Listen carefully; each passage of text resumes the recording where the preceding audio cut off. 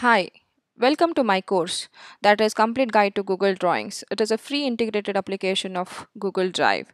I'm Chaitra, I'm instructor for your course. Here I am to share my experience with Google Drawings in this course.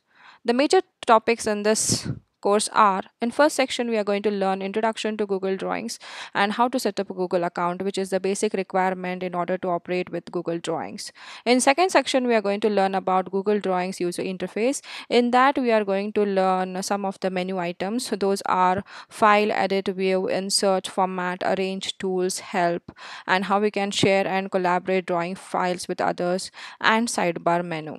In third section we are going to create three professional logos with Google Drawings.